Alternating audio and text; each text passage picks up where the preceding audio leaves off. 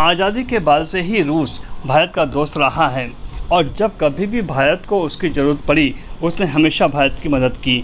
लेकिन इधर, वर्षों से तेज़ी से बदलते वैश्विक हालात के कारण इन संबंधों में कुछ नरमी आ गई थी, जिसे दूर करने के लिए भारत के प्रधानमंत्री विगत दिनों रशिया की यात्रा पर गए।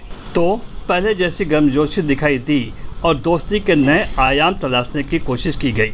रशिया के सेंट पीटर्सबर्ग में प्रधानमंत्री नरेंद्र मोदी और रशिया के प्रेसिडेंट व्लादिमीर पुतिन के बीच एकांत में हुई इस मुलाकात और उसके बाद दोनों की अगुवाई में द्विपक्षीय बातचीत के बाद रिश्तों में घुल रहे तनाव को काफ़ी हद तक कम कर दिया और दोनों देशों के बीच सैन्य व सौर ऊर्जा के क्षेत्र में सहयोग के नए आयाम जुड़े। भारत के पड़ोसी के साथ बढ़ रही दोस्ती को लेकर भारत की चिंताओं को भी पुतिन ने खारिज कर दिया और भारत को अपना सच्चा दोस्त बताया। इसके बाद दोनों देशों की तरफ़ से इस बात का ऐलान किया गया कि उनके बीच अभी तक का सबसे बड़ा सैन्य अभ्यास इसी साल किया जाएगा। भारत व रूस के सेनाओं के तीनों अंगों के साथ एक बड़ा सैन्य अभ्यास इंदिरा 2017 के नाम से किया जाएगा। रूस ने आश्वासन दिया कि वो भारत को अत्याधुनिक हथियारों की आपूर्ति करता रहेगा और भारत के साथ सैन्य सहयोग को ज़्यादा से ज़्यादा बढ़ाने का वादा भी रूस की तरफ़ से किया गया।